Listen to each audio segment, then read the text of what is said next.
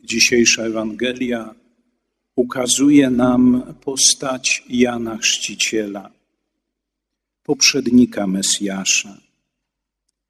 Miał on za zadanie przygotować naród izraelski na pierwsze przyjście Mesjasza.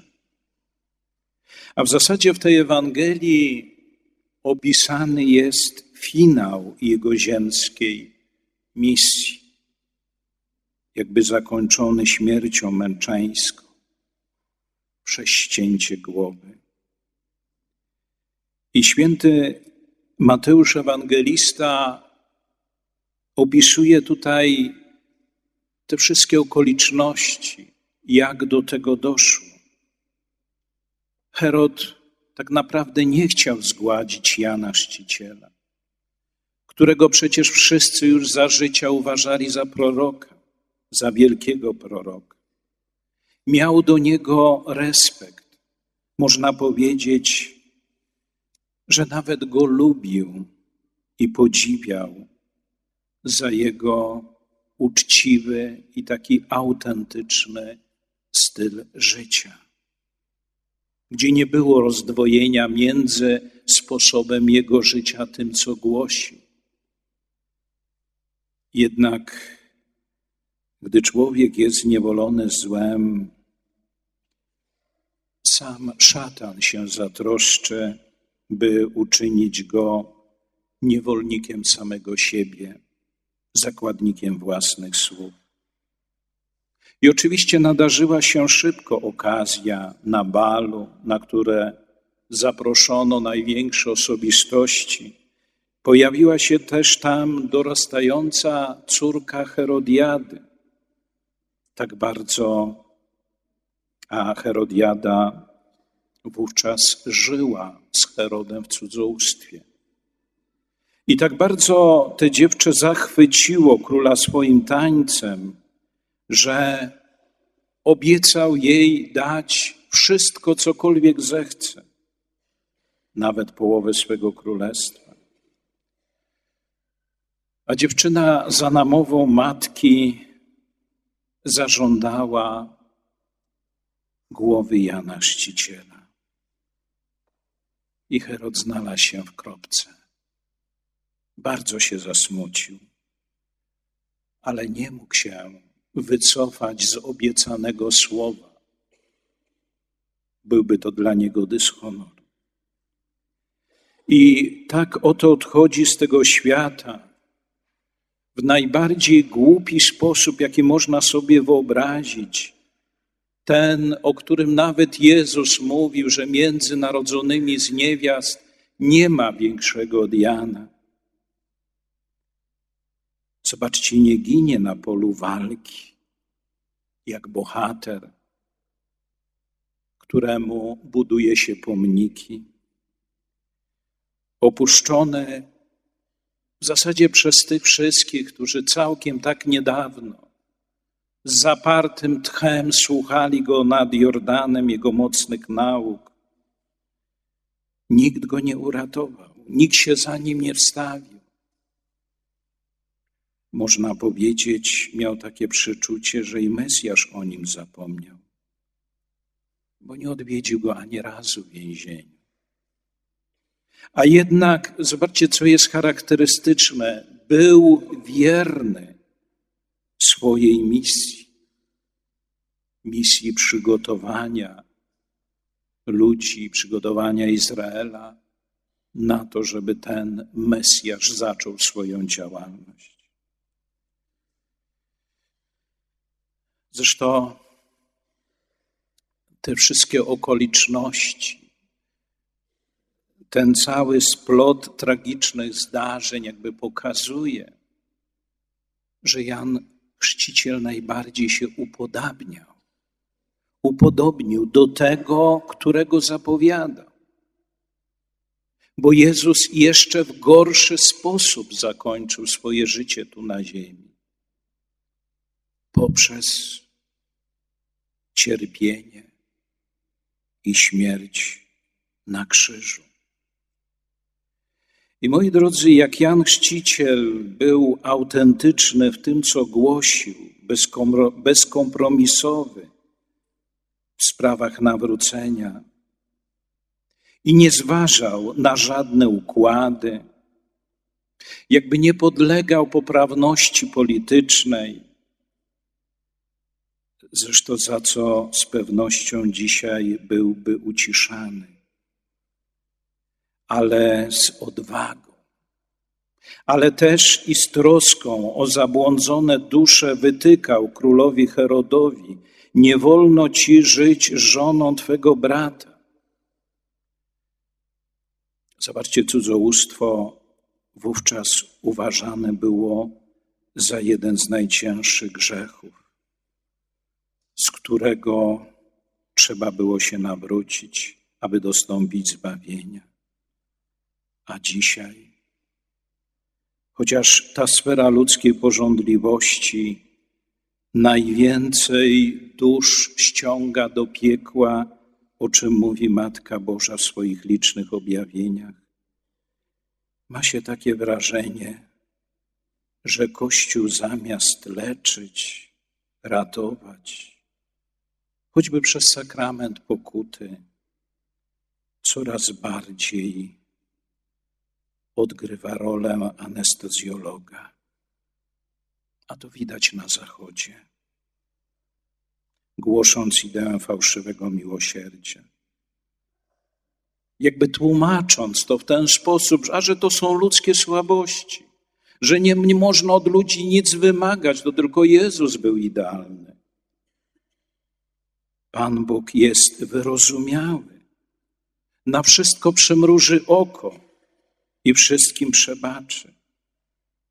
Zauważmy jednak, że Boże miłosierdzie które jak karetka pogotowia czeka na sygnał, ono dotrze dopiero wtedy do naszej duszy, jeżeli ona się nawróci, zapragnie nawrócenia. Inaczej spłynie po nas jak po kaczce. Bóg nie chce dzielić miejsca w naszym sercu z grzechem do którego jesteśmy przywiązani. A grzech jest to furtka, przez którą się do nas, do naszego życia wewnętrznego dostaje szatan. I wtedy wpływa na nasze życie, manipuluje nami.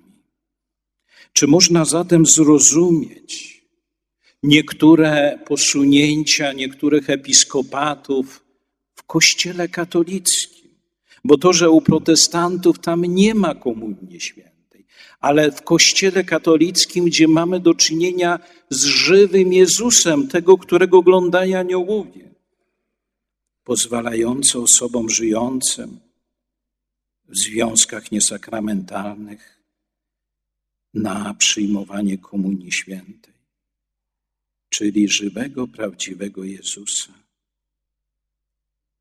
a On chce dotrzeć do naszych serc, żeby się z nami zjednoczyć, jakby wymieszać z naszą naturą. I na jakie sąsiedztwo go skazujemy? To za mało, moi drodzy, pragnąć Jezusa jako cukierek do osłody naszego życia. Za mało żałować, a jednocześnie trwać w grzechu. Konieczna jest spowiedź, a ona zawsze zakłada mocne postanowienie poprawy, zerwanie z grzechem, nawrócenie. Jeżeli będziemy poddawać naszą duszę pod zwiedzenie szatana, to on zrobi taki odwrotny zabieg posłuży się nami jako narzędziem, żeby nawrócić Pana Boga na Jego sposób myślenia. Otóż, moi drodzy, obecna sytuacja w świecie i te niepokojące trendy, jakie w coraz większą wyrazistością dają o sobie znać w kościele, naprowadzają nas, nawet ślepego, na stwierdzenie, że już dzisiaj żyjemy w czasach ostatecznych, w których ci, którzy kochają Jezusa i są wierni Jego nauce, z zatęsknieniem oczekują Jego powtórnego przyjścia, aby wyzwolił ten świat spod wpływu antychrysta i uratował jak najwięcej zwodzonych przez niego ludzi.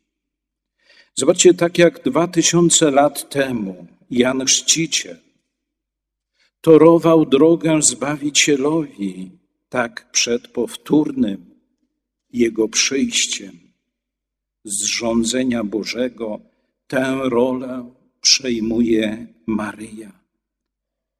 I ona chce jak najwięcej swoich dzieci schronić, ocalić w swoim niepokalanym sercu, ale nie może nikogo do tego zmusić. Zobaczcie, byśmy niczym w arce Noego przetrwali te trudne czasy, ten potop, w którym zaznaczy się prześladowanie prawdziwego Kościoła, określanego w Apokalipsie mianem niewiasty. I te prześladowania nie przyjdą ze strony buddystów, muzułmanów, ale ze strony nierządnicy, czyli tej części Kościoła, która pójdzie na kompromis ze złem, na współpracę ze światem. Ale również to właśnie pod jej przewodnictwem moi drodzy, stoczy się ostateczny bój, kiedy szatan definitywnie będzie pokonany. I to jest taka przedziwna walka, bo terytorium tej walki jakby przebiega przez ludzkie serce.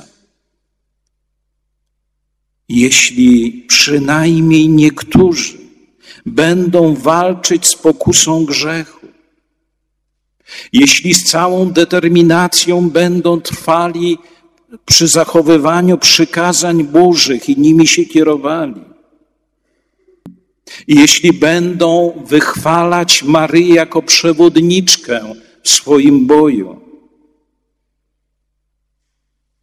to wtedy szatan stopnieje, bo on się bardzo boi Maryi i łatwiej będzie wyrwać jak najwięcej dusz z jego ręki. Zwróćmy uwagę, że Jezus odkupił świat nie przez mądre słowa, nie przez niezwykłe cuda, ale poprzez swoją ofiarę na krzyżu. Dlatego dzisiaj cierpi w swoim mistycznym ciele, do którego Ty należysz o co prosiła Matka Boża dzieci Fatimy? Jak nie o to, aby ofiarowały swoje modlitwy i cierpienia za grzeszników. Także, moi drodzy, nie szukajmy tylko takiej doczesnej korzyści dla siebie, bo tym człowiek się najczęściej kieruje, przyjeżdżając tu na zawierzenia. Patrzmy w perspektywie całej wieczności. Bogu zależy na każdym Jego dziecku. I Ty możesz Mu pomóc. Już wiesz jak.